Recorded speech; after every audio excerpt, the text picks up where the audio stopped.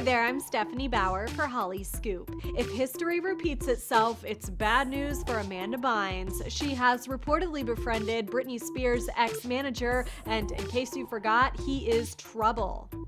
Sam Lutfi, the man accused of exploiting Britney during her most vulnerable time, allegedly has ties to Amanda now. This news broke as it seems he is the one that bought her a plane ticket to return to New York City from Los Angeles. A source gave this bit of info to Radar Online, but when the site contacted him, Sam denied purchasing it and refused to talk about his relationship with the troubled starlet.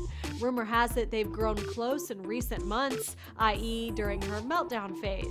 Britney's mom, who is similar to Amanda's mom now, as they have both attempted conservatorships on their girls, claimed Sam is an evil man who preyed on her daughter and controlled her.